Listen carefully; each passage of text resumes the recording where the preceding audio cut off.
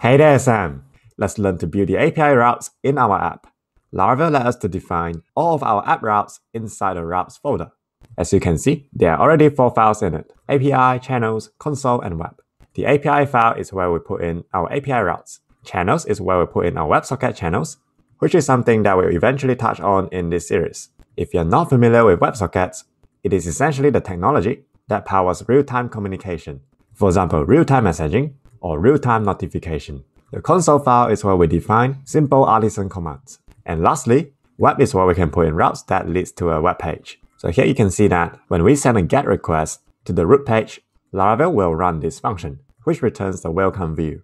The view function is a helper function provided by Laravel that references the view folder inside the resources folder. It simply loads the welcome blade file and sends it back as a response of the HTTP request. And this welcome file is the default Laravel landing page that we see on the fresh installation of Laravel. If you haven't heard of Blade before, it is a native templating engine provided by Laravel for us to do cool stuff in HTML. For example, easily injecting PHP code inside our HTML or write an if statement to conditionally render part of our web page. Anyway, Laravel Blade is another major component in the framework and it deserves its own video series. For now, let's go back to writing our routes. We define our HTTP routes primarily in API and web.php. As we mentioned earlier, we put routes that returns a view as web routes, and any other operation that returns JSON response will put them inside api.php. The main difference between these two types of routes is the middleware that the request has to go through before the request hits the router. So if we go to our HTTP kernel, in the middleware group's protected property, the middleware in the web group are applied to all requests that we define as web routes. And the same happens to the API group. So all API routes will have these two middleware applied to them. Okay, now let's go back to api.php and we'll go through the basic of defining a route. When we're designing the API for an app, there are two popular choices or architecture in the modern world. One is called the REST architecture, and two is GraphQL. I wouldn't recommend GraphQL for a simple app that we're building because it's very complicated to set up and get it to work properly. However, I have attached a few resources in the description if you're interested about GraphQL. For now, let's explore more about the REST architecture. By definition, REST is a set of principles and architectural constraints that aims to help us to build robust API. In a nutshell, a RESTful API would follow these six constraints. Uniform interface, client server, stateless, cacheable, layered system, and code on demand.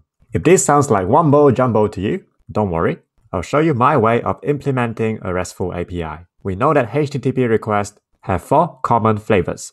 Get, post, patch or put, and delete. Get request is for reading data, post is for creating, patch and put is for updating, and delete is for delete. Together, they are normally known as CRUD operation, which is the acronym of create, read, update, and delete. Now with these four operations, we can pretty much do anything with the data on our app. And for every model, we should define routes for each of these operations. And here's a standard convention on how to define these routes. Let's use the user model as an example. Let's start with get. Get means reading data or getting data from the database. Normally for an API, we have two variants for getting a resource. Getting a list of resources versus getting a specific resource. When we're defining the route to get a list of resources, it should be slash and the name of resource in plural form, which in our case here will be users.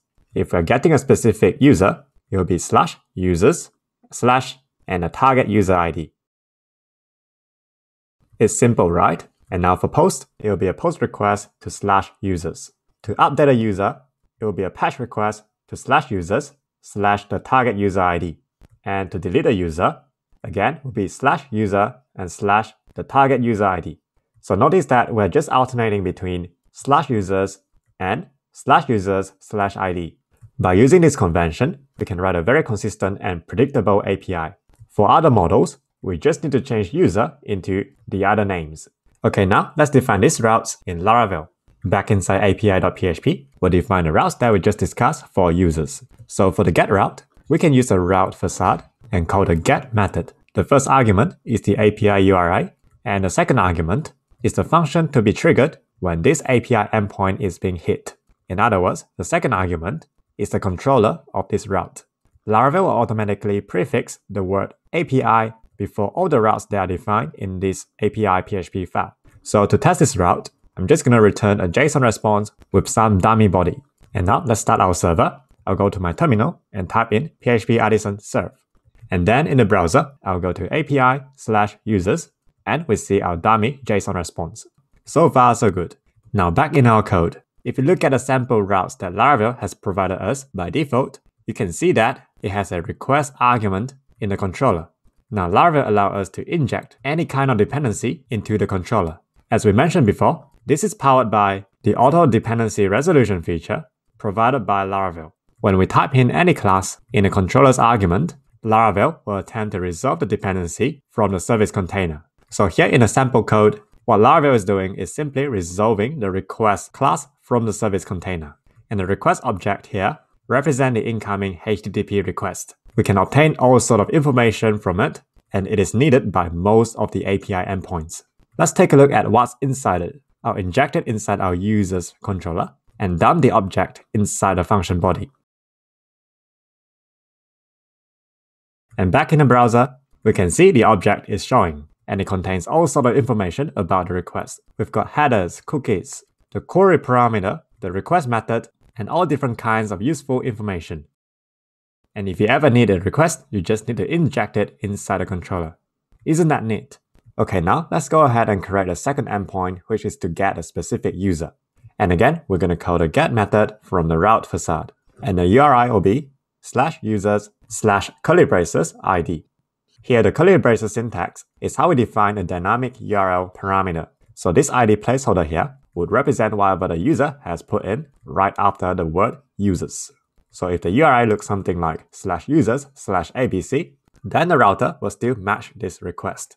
Now in the controller, it will now accept an ID argument, which would represent the ID parameter that we put inside the URI.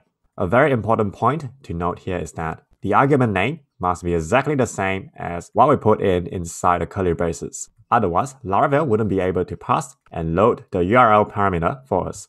Now in the function body, just for demonstration, I'll simply put the ID parameter in it. And let's go back to our browser to test our code. If I put in 1 after users, I get a JSON response where the data key is 1. If I change it to 2, I get 2. And if I put in some random string ABCDE, I get ABCDE as well. Now can you see how everything is connected inside this function? Let's go through this one more time.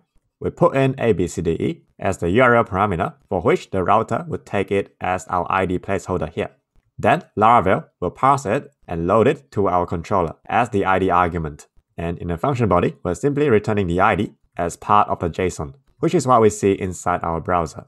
So here the ID placeholder represents a user ID, and Laravel makes it very simple for us to resolve the model instance. All we need to do is to type hint or inject the dependency in the function argument. So it'll look something like this.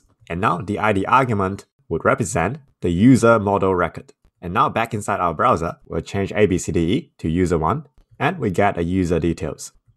And now you might be wondering, this seems a little bit magical. How does this work? The answer to this lies inside the middleware called substitute binding provided by Laravel out of the box. So if we go back to our HTTP kernel class,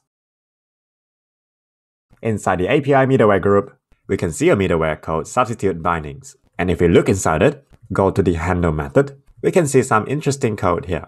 So this middleware is essentially calling two methods on the router substitute bindings and substitute implicit bindings. And this is exactly how Laravel binds the user ID that we supply in the URL parameter into an actual model instance. There are actually two types of bindings. An explicit binding, which is taken care by the substitute binding method, and implicit binding, taken care by the substitute implicit binding method.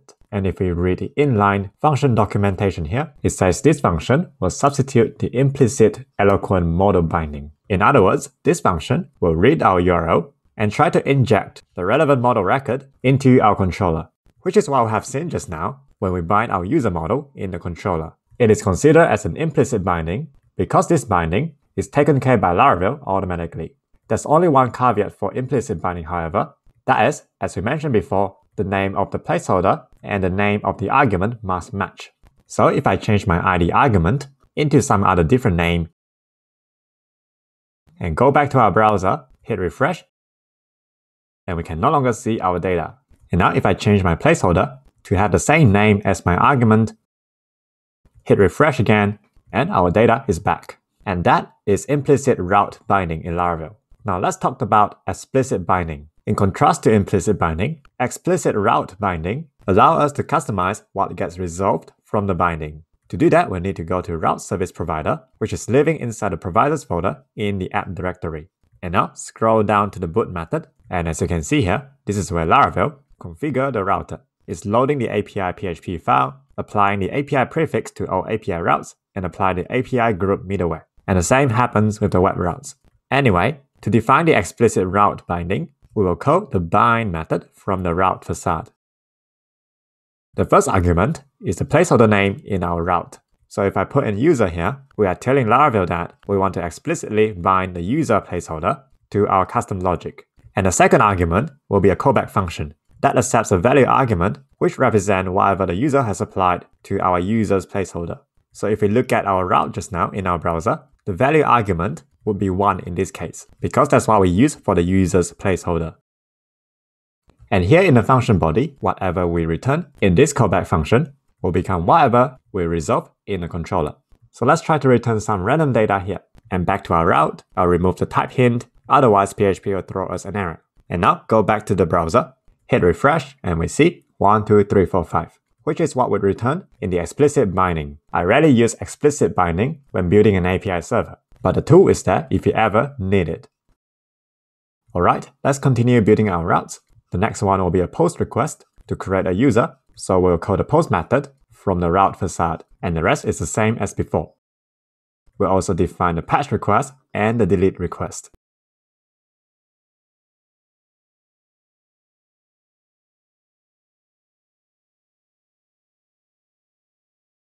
We will implement the actual logic for each route in a future video. For now, we'll just send back a dummy response for each of them. Once we've done that, let's test our endpoints here. I'll use Postman to test these API endpoints, but you're free to use any other HTTP clients. So to test our post endpoint, I'll change the method to post and specify the URL to be localhost 8000 API slash users. Click on send and it works. We'll do the same for patch and delete. And they're all working, which is great. It's a good place to stop here. However, there's much more to learn about routes, and we'll continue in the next video. Key takeaway for this lesson, API routes are typically referred to routes that returns JSON, and web routes are routes that returns HTML pages. We define API routes in the API PHP file, and for the web routes, we put it inside web.php.